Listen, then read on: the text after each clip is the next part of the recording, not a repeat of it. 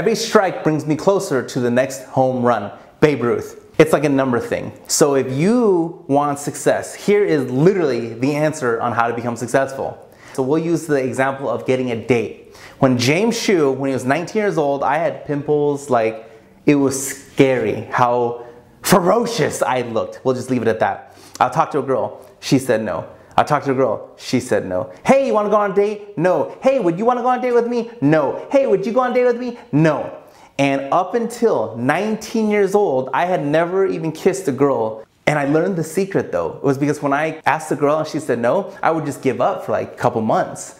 And then I'll find another girl that was attractive, and then I would, she would say no, and then I would just give up. And then the answer is you have to just talk to as many girls as you humanly can, and then eventually one of them will have pity on you and say, I don't pity the fool. And they may actually date you. And I realized that I had to talk to like 25 girls for one to say yes. So all that meant for me was if I talked to 50 girls, I would have two dates.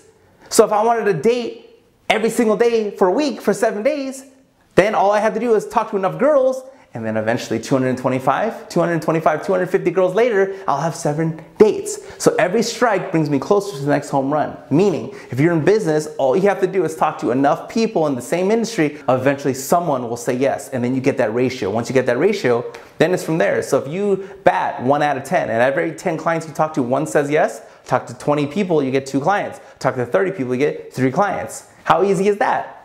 Thanks for viewing everyone. Don't forget to like and share this video. If you have any questions for me, ask me on Twitter or Instagram at HsuMJames. If you enjoyed this video, I release new videos like this every day, seven days a week, 365 days out of the year. Why? Because success doesn't sleep. And guess how often we need positive vibes in this world?